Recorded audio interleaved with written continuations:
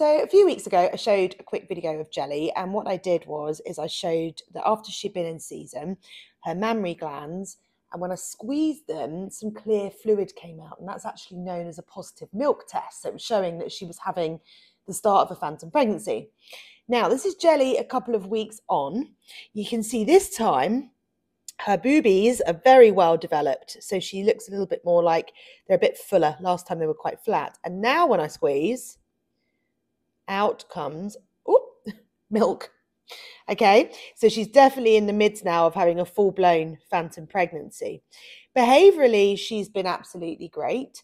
Um, I am going to be spaying Jelly, but clearly not when she's having a phantom pregnancy. Now, here's one little thing for you to think about. Jelly finished her last day of bleeding on January the 27th. If we move forward three months, we'll be looking at April 27th. That's tomorrow. And you can see she's right in the midst of having a phantom pregnancy.